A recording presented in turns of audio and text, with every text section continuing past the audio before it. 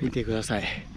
えー、本来は多分雨季、雨の多い季節は川だったと思うんですけども、えー、まあここは川だったところは、まあ、路面がすごい柔らかくて、もう自転車では走れません。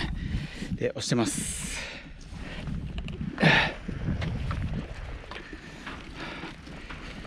今、ナミビアのあ蚊がいっぱいいる。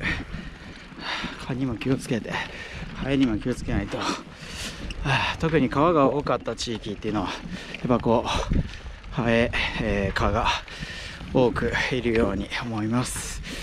気をつけて走っていきます。